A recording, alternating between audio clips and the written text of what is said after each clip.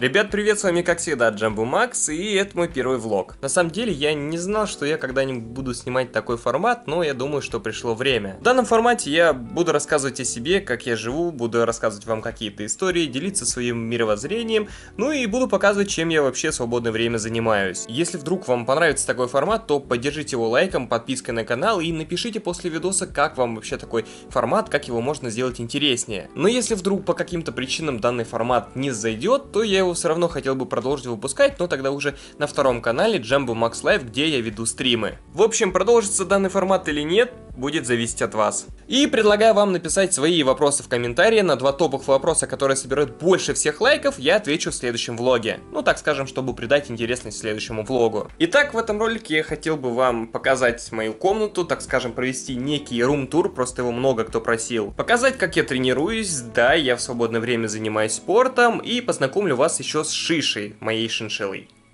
И начну я, пожалуй, с комнаты. Вот здесь я, в принципе, и обитаю. Это у меня, так скажем, игровой уголок. Этот угол вы чаще всего видите на стримах, тут я делаю контент. Здесь у меня стоят два Xbox, это Xbox 360, элитная версия, и Xbox One Fat. Глядя на такое расположение Xbox One Fat, многие скажут, блин, чувак, ему не хватает воздуха, э, положи его на другую полку, но на самом деле Xbox One Fat стоит здесь уже довольно-таки долго, и поэтому я не считаю, что ему как-то здесь плохо. Это мой 4К-шный телек, много кто спрашивал, есть ли у тебя 4К телек, да, он есть. Но на нем я чаще всего смотрю мультики, фильмы и тому подобное, и не использую его практически в играх, потому что мне комфортнее играть на маленьких телевизорах, на Full HD-шных. И если что, Full HD-шный телек, на на котором я играю на стриме, находится вот здесь. Да, раньше, когда мы только-только купили 4К телек, я играл только на нем. Но потом, со временем, когда я начал стримить, я понял, что на маленьких телевизорах мне играть прикольнее, лучше, и я намного, так скажем, больше чувствую игру, нежели на большом телеке. Поэтому в последнее время, а именно где-то месяца уже три, я достаю вот этот Full HD-шный телек, ставлю его сюда и играю в свои любимые игры. Кстати, если что, на стримах вы видите вот такой вот, вот ракурс. Вот так, в принципе, со стороны выглядит мой рабочий стол. Здесь чаще всего я ставлю вот так вот микрофон, и записываю какой-нибудь видос. Тут у меня беспроводные наушники, которые подключаются к Xbox и к ПК, и штатив. Кстати, многие, глядя вот на этот монитор, могут сказать, чел, смени, он довольно-таки старый. Да, я пытался сменить его, но в итоге не нашел подходящих мониторов, которые бы влезли в мой стол. Просто сейчас мониторы, они по сути уже огромные, и вот в этот стол у меня они просто не влезут. И чтобы он влез, у меня, грубо говоря, нужно вот это вот все сносить, что я в принципе делать не хочу. И часто моя комната превращается еще и в спортзал ну, поскольку я люблю заниматься спортом. Это мой спортивный инвентарь, гантели, гантели, гантели и 4 блина 2 по 20 и 2 по 15. Также у меня есть турник, который превращается в брусья и при помощи которого можно качать пресс. На самом деле самый любимый снаряд мой. Ну а также есть вот такие висюльки, которые помогают мне разрабатывать хват. Помимо этого у меня есть еще очень клевая стойка, которая помогает мне делать жим лежа. Вот она, она нам сегодня понадобится, я покажу как она разбирается и немножко потреню. Также, помимо всего, у меня есть вот такая вот штука для боксирования и нунчаки. Также у меня еще был Герман, но у него треснуло лицо, поскольку там, видимо, был некачественный силикон. И мы его отправили в сарай, поскольку здесь уже некуда его ставить. Что вам еще показать? На этой полке у меня всегда лежит ствол. Ну, сами понимаете, да, мало ли кто-то не такой зайдет. На этой полке моя тачка. Да-да, я сам на нее заработал. Ну, а тут у меня фигурки. Если честно, у меня до сих пор почему-то осталась любовь к игрушкам, а именно к игрушкам, которые могут двигаться. Не просто к статуэткам, да, которые просто стоят, а вот именно фигурки, которые двигаются. Когда я вижу, например, по новостям, что выходит какая-то фигурка, мне почему-то ее хочется взять. Да, я понимаю, что это неразумно, что я, в принципе, должен с этого вырасти, но вот мне нравятся фигурки, и моя, так скажем, мини-мечта когда-нибудь себе приобрести фигурку фигурку от компании Hot Toys. Если кто-то не знает, что это за фигурки, это просто офигенские игрушки, которые, ну, просто офигенно сделаны. Когда речь заходит о фигурках, я сразу вспоминаю детство, и, блин, у меня всегда были какие-то, ну, нереально топовые игрушки, которые по-всякому шевелились. Одна из самых любимейших моих игрушек была, это, пожалуй, фигурка а, по фильму Человек-паук 2. К сожалению, я не могу вам ее показать, потому что, скорее всего, она осталась по каким-то причинам в Хабаровске, просто мы оттуда переехали, собрали большой контейнер, и какие-то ящики просто не поместились в него. Да, если что, раньше я жил в Хабаровске. Контейнер доехал, все нормально, но Человек-паука в нем, к сожалению, не оказалось, поэтому, скорее всего, мой самый любимый Человек-паук остался в Хабаровске. К сожалению. Но в память о нем я купил вот такого Человеку-паука. Он тоже достаточно прикольный, двигается. И насколько мне не изменяет память, это серия Marvel Legends. Наверное, многие из вас, глядя на ствол, на машинку, на фигурку, скажут, блин, зачем тебе это все? Короче, коротко, у меня просто играет в заднице детства. Если вы вдруг хотите посмотреть, как рвет эта малышка, то ставьте лайки. Если на этом влоге будет хотя бы 1500 лайков, то она появится в следующем влоге. Если вдруг у вас тоже есть какие-то любимые игрушки детства, но вы уже взрослые, то напишите об этом в комментариях. В этом нет ничего такого, я считаю. А тут у меня полка с пиратскими дисками. Чур, никому не говорите, что я пиратил.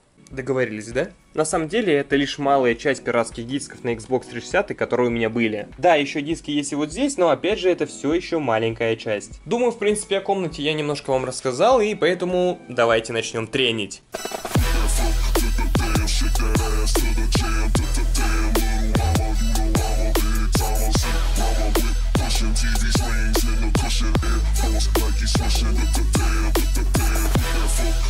Вообще вся тяга к спорту у меня была прям с самого детства. Всегда считал, что заниматься спортом это круто, это правильно. И по сути даже в нынешний момент я все равно придерживаюсь здорового образа жизни, не пью, не курю, не занимаюсь спортом, как вы видите. Вообще, на самом деле, турник стал капец какой популярный где-то в году 2014-2016. Пошли всякие турникмены, всякие акробатические элементы, ну, выход э, на две, солнышки там и так далее. Тоже, так скажем, болел всем этим, тоже с пацанами ходили на турники, все это учили. На самом деле, даже сейчас на выход сил на 2 сделаю прям на изи. Вообще, стрит воркаут это, ну, прикольная тема. Если вдруг кто-то занимается, то напишите об этом в комментариях. Если говорить о данном моменте, то чаще всего я на турнике занимаюсь с весом, кладу в рюкзак 20 килограмм и пошел до скольки смогу и дальше ниже. Сейчас же воскресенье, поэтому, в принципе, я работаю в легкую. Кстати, попробуйте в комментариях угадать, сколько за раз я подтягиваюсь.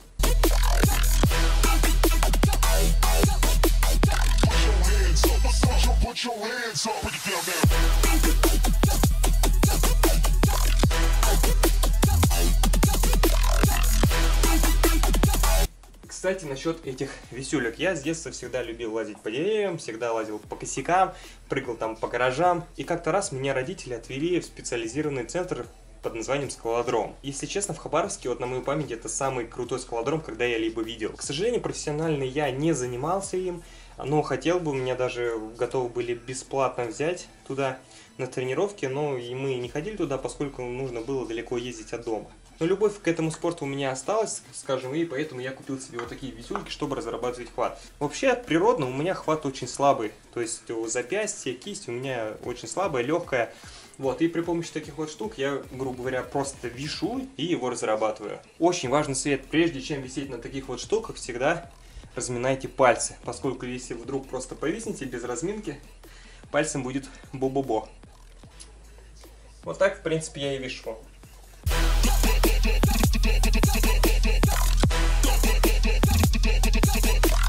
Э, со стороны может казаться, что висеть на них очень просто, но это не так. А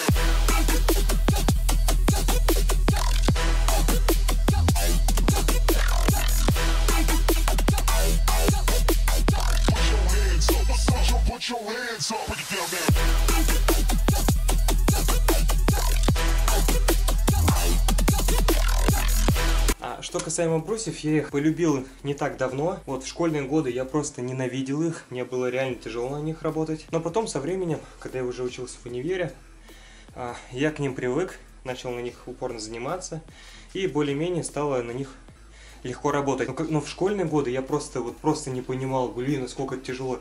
Все ребята там нормально делали, как-то им легко это давалось, а мне наоборот. То есть, если сравнить брусья и турник, то турник мне дается намного проще, чем, чем брусья. Намного проще.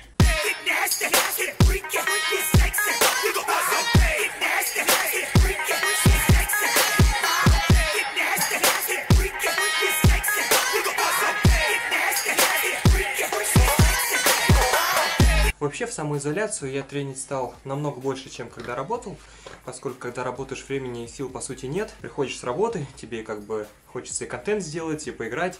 В итоге надо потренироваться и приходится выбирать. В самоизоляцию с этим, конечно, попроще. По сути, ну, свободен почти целый день. Поэтому для тренировок э, в последнее время стало больше времени. Если по-честному, иногда одному не хочется заниматься, нет какой-то мотивации, нет какого-то соревновательного духа. Но когда врубаешь музон, появляется сила, появляется та самая мотивация и появляется хотение тренироваться.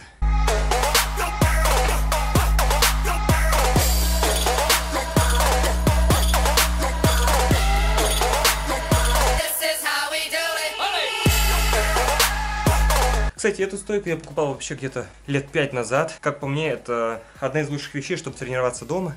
И жим можно поделать, и всякие упражнения на грудь, на руки. Можно ее просто как скамью использовать. Можно также качать ноги, если присоединить эту фигню. Короче, многофункциональная, прикольная вещь. По-моему, на то время я ее купил за 1007 если не больше, конечно. Одному тренить еще и опасно, к сожалению. Когда ты пытаешься взять какой-то большой вес, то приходится просить кого-то подстраховывать. Чаще всего я прошу это делать брата, но он чаще всего, конечно же, гуляет. И иногда приходится выбирать, либо, так скажем, ты не рискуешь, либо дожимаешь, но вздыхаешь. А еще у меня в последнее время болит вот здесь вот плечо. Как-то раз я поднимал гантели перед собой, ну, делал вот такое вот упражнение. И после этого у меня жуть как болит вот это вот плечо. Я не знаю, что с этим делать, оно, наверное, болит уже на протяжении недель трех.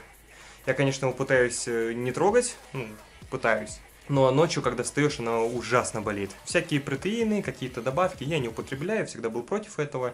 То есть, если ты занимаешься, ну, для себя, я считаю, что лучше заниматься без всяких вот этих вот штук. Так скажем, в натураху. Да, я понимаю, что в протеинах тоже нет ничего такого, но я не люблю это. Люблю просто коктейльчики поделать. Молоко, банан, мед, там овсянка, короче, мешаешь это и вкусненько. Занимаюсь чаще всего я просто для себя, без фанатизма. Раньше, да, я, конечно, в какой-то момент хотел быть большим, но потом я понял, типа, для чего мне это? Вообще, по секрету скажу вам, никогда не был в тренажерном зале. Никогда. То есть, да, может быть, я рядом проходил, но никогда в него не заходил и никогда там не тренил. Просто у меня такая позиция, если ты хочешь заниматься спортом, не занимаешься этим профессионально, то, в принципе, ты можешь заниматься своим весом дома. А если у тебя чего-то нет, то ты можешь, в принципе, такое докупить. В принципе, такой инвентарь стоит не так дорого, как многие думают. Турник Бруси, я думаю, достаточно для человека, который хочет просто изредка заниматься спортом.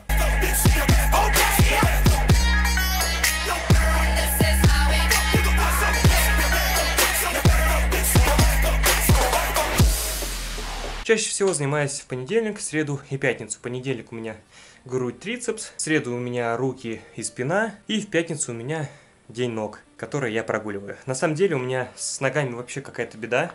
Я просто не могу приседать. То есть мне приседания даются, наверное, сложнее всего, поскольку у меня просто жутко трещат коленки. И я не знаю, что это. А идти в больницу я не хочу. Как бы бегаю, прыгаю я нормально. А вот именно приседать с весом или просто приседать, ну, делать приседы, я просто не могу. У меня разрываются колени. Сейчас я вам даже покажу, насколько они трещат. Вот мои колени и попытаемся просто присесть. Ну, вы понимаете, да, суть вот моей проблемы? Да, иногда боль пропадает, я могу приседать, но чаще всего у меня творится такая фигня. Поэтому, если вдруг у кого-то такая же проблема, то напишите в комментариях, как вы с ней справляетесь. Может быть, это, ну, какая-то болезнь или что-то. Также я тренирую шпагат, стойку на руках, иногда боксирую перед зеркалом, вспоминать тренировки по боксу. Ну и хочу научиться заднему сальту с места. Ну, просто хочется. Вообще, в детстве я занимался гимнастикой, тэквондо. В универе я ходил на бокс, ну а в школьные годы, и в том числе в универе, я еще и поигрывал в футбол. Но со всем этим у меня почему-то не срослось именно профессионально. Так, чисто для себя я этим продолжал заниматься, но, опять же, не профессионально. Если вдруг у вас остались какие-то еще вопросы, то напишите в комментариях, постараюсь в следующем влоге ответить. Короче, как-то так проходят мои тренировочки. Шиш, скажи привет! Вот она моя кроха. Да, тебе все интересно, что это за камера, почему тебя сегодня снимают, да? Вообще шиншиллы это необычные животные, они относятся к грызунам. Ты моя хорошая, ты моя хорошая, оти ботики боти. Вообще шишка это мой подарочек на день рождения. Мне тогда говорили, либо ты покупаешь игровую приставку PlayStation 3 или Xbox 360, либо покупаешь домашнего питомца. Ну, как вы видите, я выбрал и то, и другое. Не, ну если по факту, то на тот день рождения я все-таки выбрал шишу. Такого вот грызуна. Я вообще понятия не имел на то время, что такое шиншилла. Ну, что, что, что, что это моя хорошая? Шиша у нас практически постоянно живет в клетке, мы иногда выпускаем ее по дому погулять, но очень очень сильно за ней смотрим, поскольку этот пушистик может что-то погрызть. Вообще мы с Шишкой очень часто по вечерам разговариваем, она смотрит телевизор, когда мы ужинаем, да, Шиш? И это все интересно. Если, кстати, кто-то не знает, как они моются, погуглите, это очень смешно, они купаются, короче, в песке. Если хотите, я как-нибудь вам покажу это. Вообще, Шишка у нас долгожитель. Когда мы недавно вызывали ветеринаров, Шишке было плохо, они удивились вообще, что есть столько, поскольку по их опыту шиншиллы живут там около пяти лет. То есть, говорят, мы приезжаем на вызов, а там шиншилла трехлетняя, и она уже якобы задыхается. Но Шишка у нас живет, радуется жизнью, да, Шиш? Скажи, я еще... Ого-го, да, старушка наша? Вообще у нас было две шиншиллы. Сначала, так скажем, мне подарили шишку, а потом у нас появился Мишка, у них были шиншинята, или шиншилята, не знаю, как правильно, не помню. Вот, и было, по-моему, 3-4 шиншиненка, и мы их отдали в добрые руки. Но потом, к сожалению, Мишка умер, но, скорее всего, от естественных причин, именно от старости. Вот, и осталась у нас только одна шишка. Шишка у нас любит траву, сено, гранулы и оставляет после себя вот такие вот шоколадные семечки. А вообще, если кто-то не знал, то из шиншилл делают шубы, варежки, то есть это очень дорогой мех. Вообще, на самом деле, не понимаю, как таких созданий можно вообще трогать в таких целях. Они же такие милые, да, Жиш? Не, ну разве не милаха, а? Смотрите, какая она прикольная. На этом, в принципе, я думаю, закончу свой первый влог. Если вам понравился такой формат, то ставьте лайки, подписывайтесь на канал, пишите свое мнение в комментариях. И большое спасибо вам за просмотр. До новых встреч. Даша, что куда ты убежала?